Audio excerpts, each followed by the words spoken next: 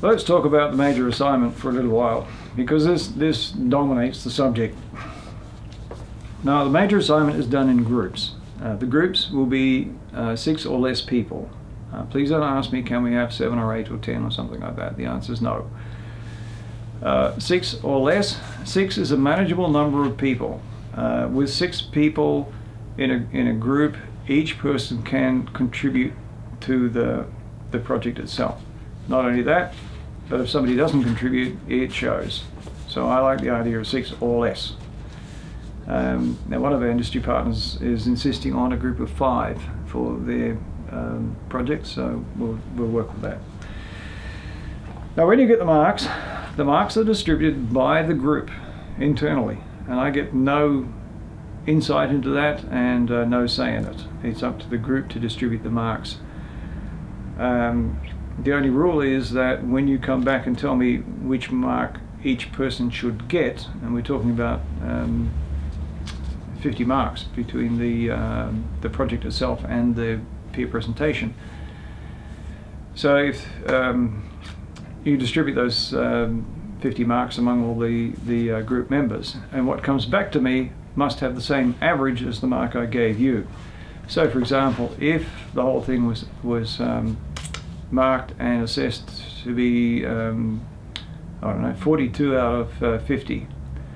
Then you can you can allocate 50 to one person and 32 to the other, and 36 to someone else, and 45 to someone else, and whatever it is, provided the average of all those marks comes back as 42.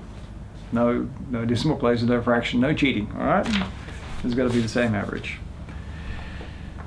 The project itself is carried out in industry. This is not a theoretical academic exercise. This is a problem set by industry of interest to them. It's in industry for several different reasons. One is it keeps the subject realistic.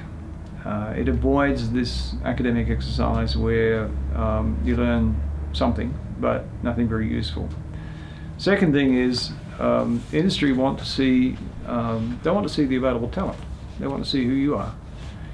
And you want to see who they are. It gives each exposure to the other. So it's a pretty good scheme and it works very well.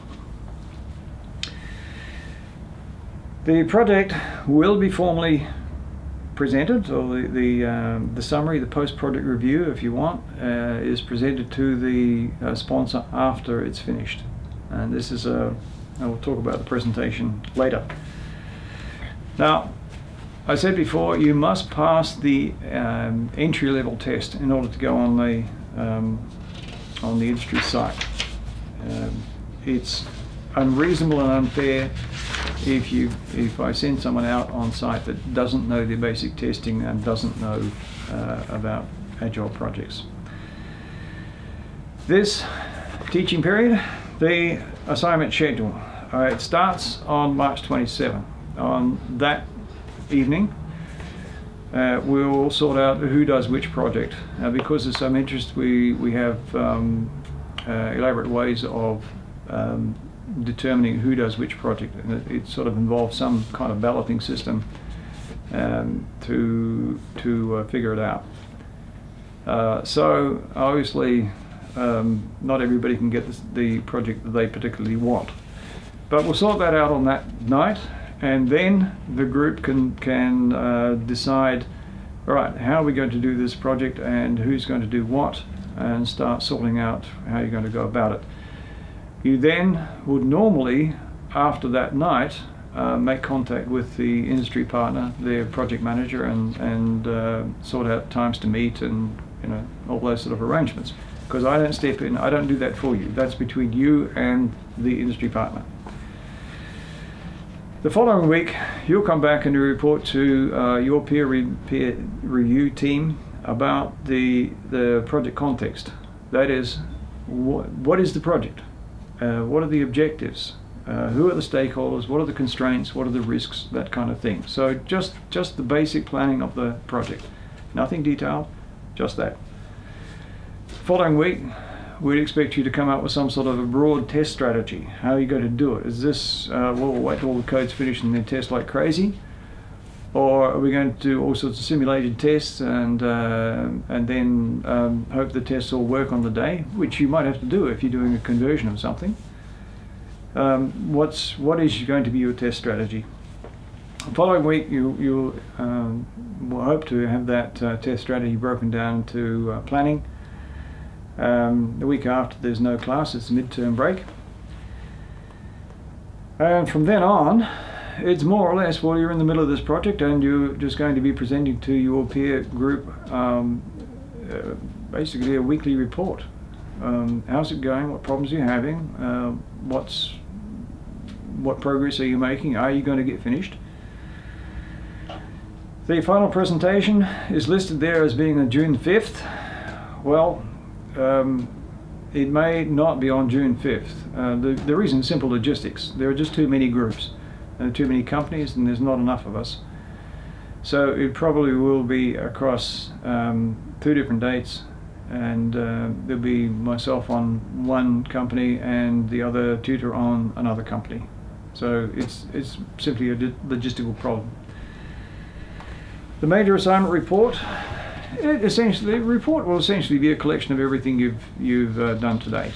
Um, and it's, the, it's a report that you would hand in after the end of a project. You hand it in to your stakeholders, and say, look, this is what we set out to do, this is how we did it, this is what happened, here's the results. Right? The report is worth 40% of the marks for the subject, and each group will distribute the marks according to the team members' effort and contribution to the report. The presentation, each group must give a presentation to their industry partner about their project and if I can arrange it this will be probably in their boardroom or something similar um, as is quite common in, in industry. It's not going to be a friendly sit down over pizza uh, presentation, this is somewhat formal. Presentation worth 10% of the marks for the subject and the presentation will be on site. Uh, you can aim for a 20 minute presentation with 10 minutes for questions, again just for logistical reasons. We'll have four of you on the night. That's four half hours, two hours. That's enough for anybody. So you've got to fit it in there. Now, a question I'm often asked about the presentation is, does every member of the group have to talk? No. Each group can decide who will talk and how, basically how they're going to run the whole thing. Um, obviously, the minimum is that at least one person must talk usually all of the members are there just in case, um, all the group members are there just in case the, the audience asks questions that one or other group member who may not be wanting to talk, uh, they know the answer and they, they're the one can chime in. So that's, that's the rules there.